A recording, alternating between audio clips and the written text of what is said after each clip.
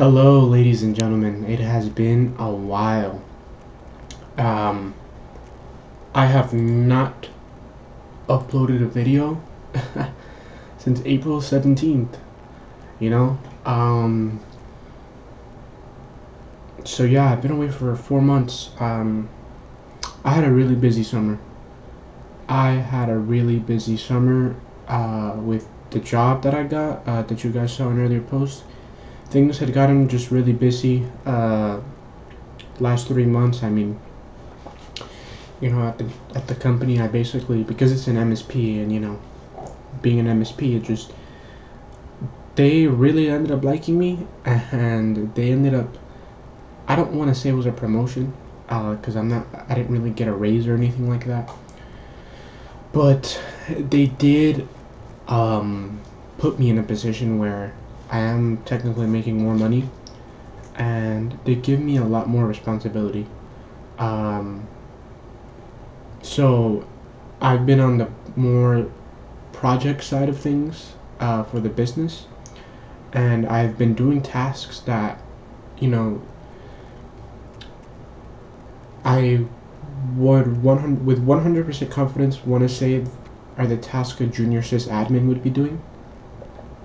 So servers, uh, onboarding new clients, right, setting up network infrastructure, um, SharePoint engineering. I've really I've been doing it all, quite literally all. Every I've been touching so much technology, uh, learning so quickly, you know, and best way I can put it is there's a there's a guy who we brought on and he's been in IT for a while and he was talking to me and he told me he said, you know, you know more than most people who I know have been in the game for a while. And at your age, that's astonishing.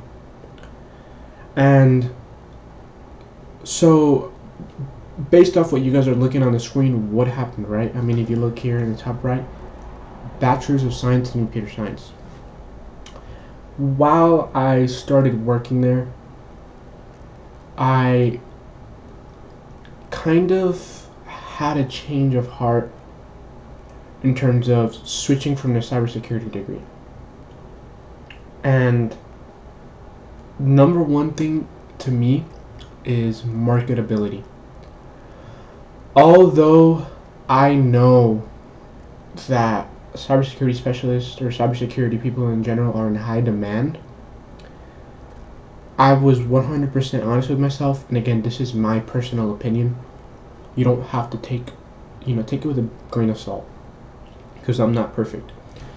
But I, in my 100% humble opinion, thought that the Bachelor's of Cybersecurity and Information Assurance is a waste of time for people trying to break into technology.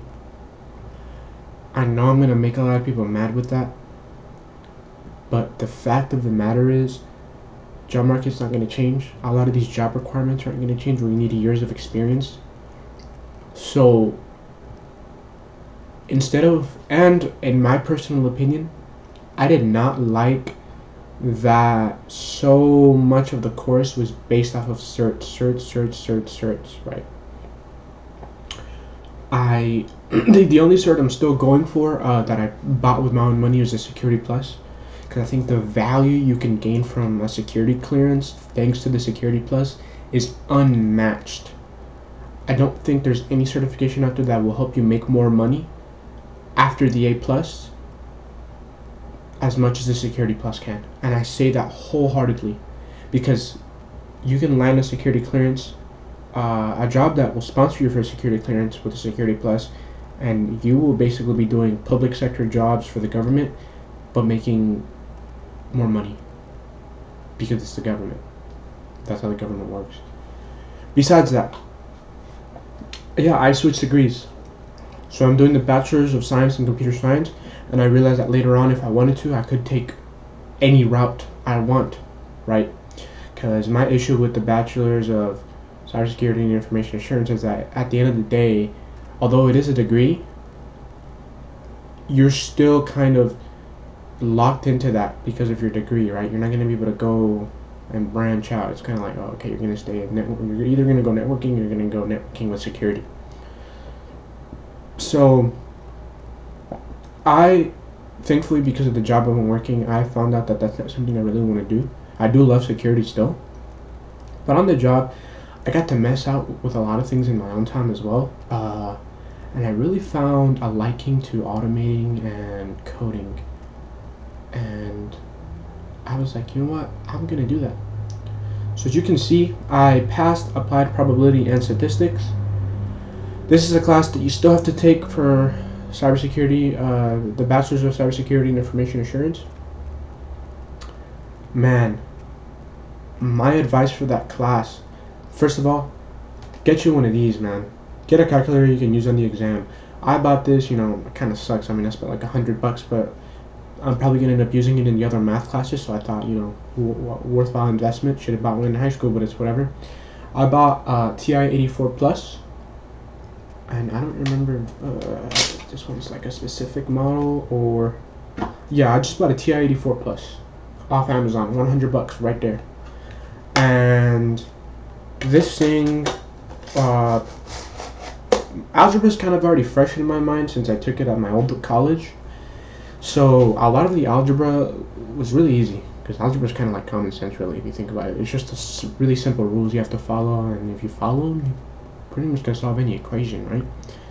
Um, it's just the order is the difficult thing for most people is the order of operations, right? But anyways, before I start nerding out, so what I would recommend, get yourself a TI-84 Plus.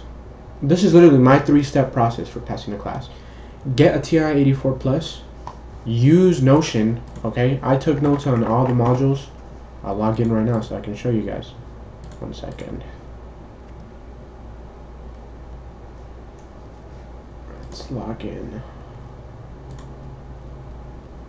with my account. So I would say use Notion.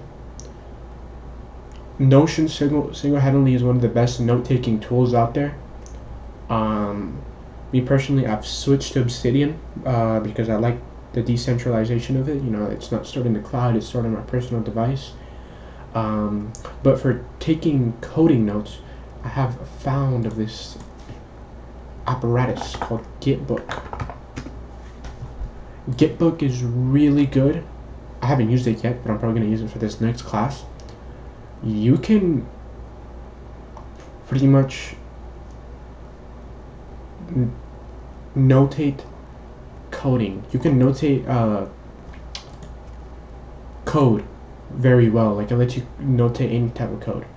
Okay, here I loaded. So you see C955 statistic notes.